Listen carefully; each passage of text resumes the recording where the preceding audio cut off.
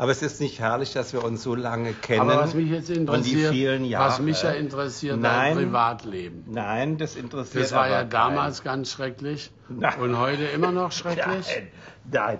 Also.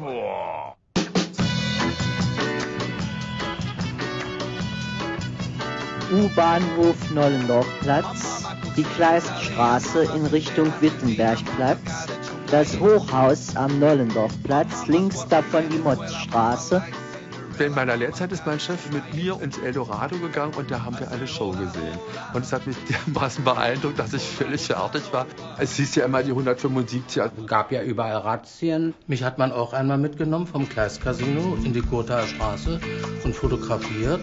Innerhalb von ziemlich kurzer Zeit hat sich die HW gegründet, die Homosexuelle Aktion West-Berlin. Man wollte eigentlich die schwule Revolution machen. Wir haben ja eine Tundenfraktion damals gebildet in der HW. Wir haben auf den Plänen einfach gesessen und haben gestrickt. Es gab keine Hierarchien oder Klassengesellschaft. Alles musste miteinander klarkommen. Man konnte ja mit so einer leichten Dauererregung durch West-Berlin laufen und eigentlich in jeder möglichen oder unmöglichen Situation Sex haben. Dass es so sexmäßig war, dass es so mehr oder weniger auf der Tanzfläche gepoppt wurde, das kenne ich nur aus dem Metropol. Diese riesen Tanzfläche und es läuft die ganze Zeit dieser Beat. Ich lebte in so einer Insel des Glücks. Und plötzlich kommt eine Krankheit, die das alles zerstört. Naja.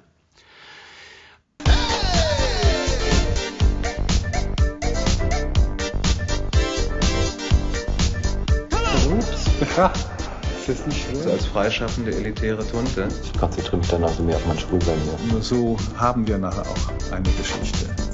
Einfach falsch interpretiert. Du dusselige alte Schnecke. Das ist total bekannt. Nein, jetzt wird hier so ein Scheiß weg. Jetzt mal Vokabeln. Ganz